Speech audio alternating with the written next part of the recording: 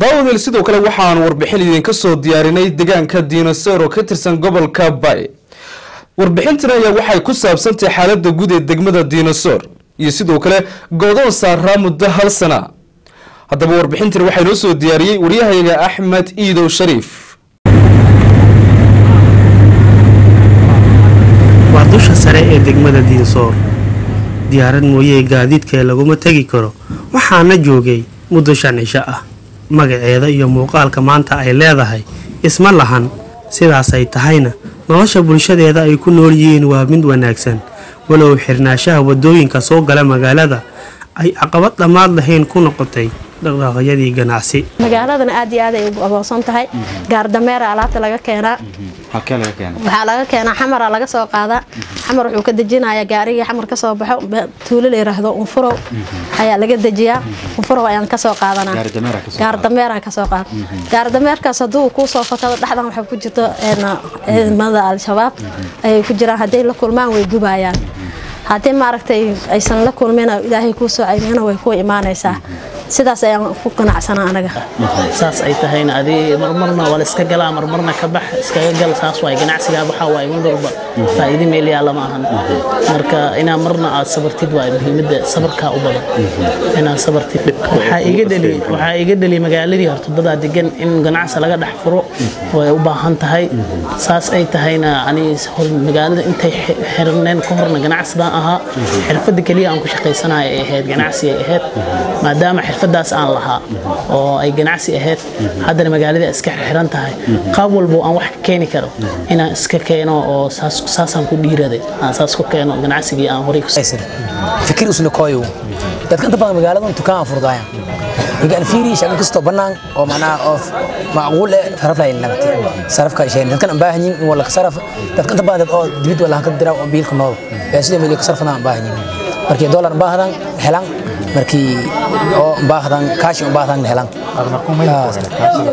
ana kaashi dollar lamada wala hele kaashi oo fadam hadda la kooyay lanka dollar siya oo EVC ay wadan kii sarfa mahaashi wala wad kii sarfa kaashin siya lamada wala helaan nabadgelyada gudaha degmada waa mid la ysku halayn karo waxaana si wadajir uga wada shaqeeyey laamaha ammaanka iyo shacabka ayadoona taasi keentay in diinsoor lagu daro liiska degmooyinka ugu nabdoon ee koonfur galbeed inkastoo adeegyadii aas-aasiga ahaa iyo shaqo la'aan bahsan ay ka jirto. Dhallinyarta naftirsa siyaasadda degmada siilafada ay maka haysadaan waxbarashada dugsi sare degmada male hadda lanka inta dugsi hoosan ka baha hamar iyo baydhow iyo laharaadsadaaye hadda marka may fadaan in inta la kahalo siina?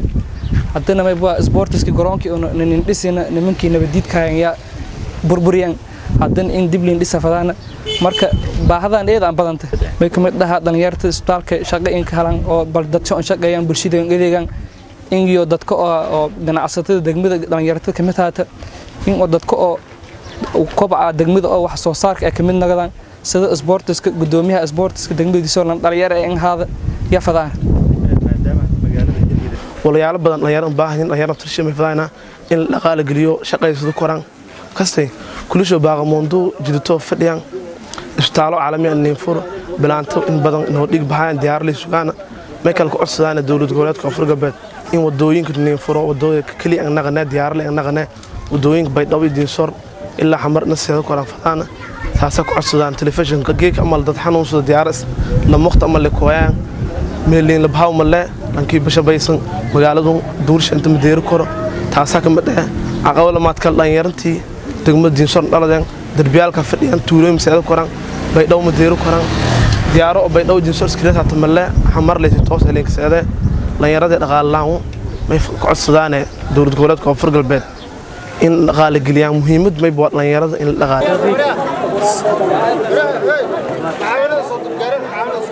Nolosha adag ay sababta u tahay go'doonka ayaa waxay cayadii sii gelisay qoysas wakhtigii wadooyin ka furnaayeen ku soo barakacay islamarkaana ku xanibmay hadeertaan gudaha degmada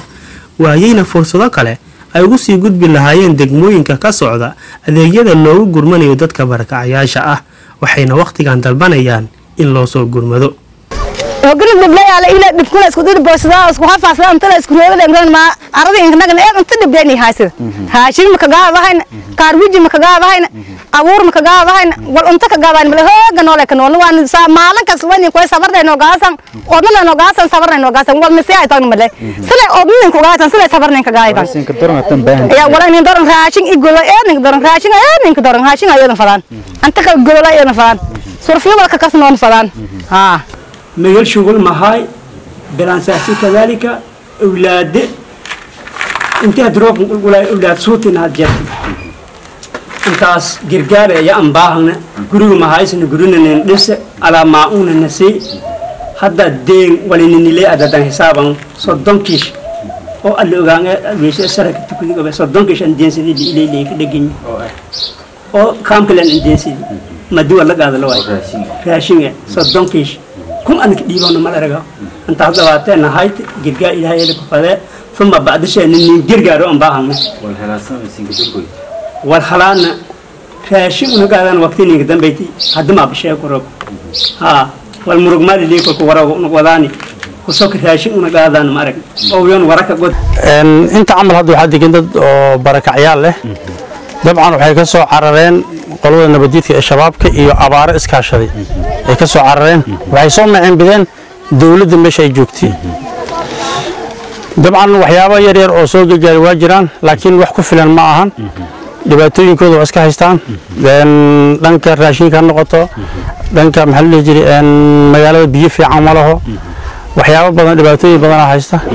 Xitaa meelihii yaroo shaqo iyo fursado yar iyo ay ka soo shaqaystaan ama dhar ay soo dhaqdaan ama beer haddii ay soo falaan waxyaabahaas haddii ay soo helaan lacagtii ay ka soo heleen waxyaaba ay ku iibsanayaan waxay noqonayaan wax qaali ah wax ku filan ma noqon. Cabdisalaan xaaji siidow waa guddoomiyaha cusub ee degmada diinsoor wax ka yar saddex bilood ayuu xilkan ku magacaabanaa ka hor inta aan si rasmi ay ugu dooran golaha deegaanka diinsoor guddoomiyaha afartan sane ee soo socota. Ayadoona xusid mudan. In guddoomiyihii ka horeeyey weli maxbuus yahay.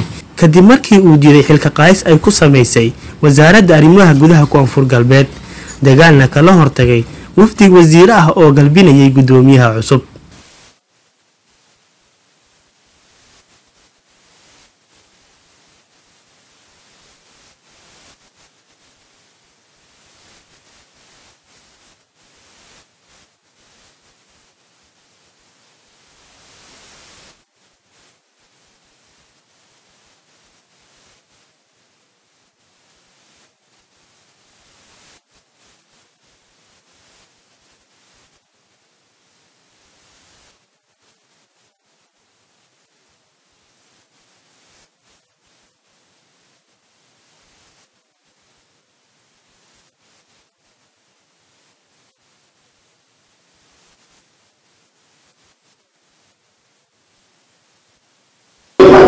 beledkii loo soo doonan jiray barashada culumta diiniga ah ee diinsoor ayaa waxaa laga dareemayaa isbeddel ballaaran.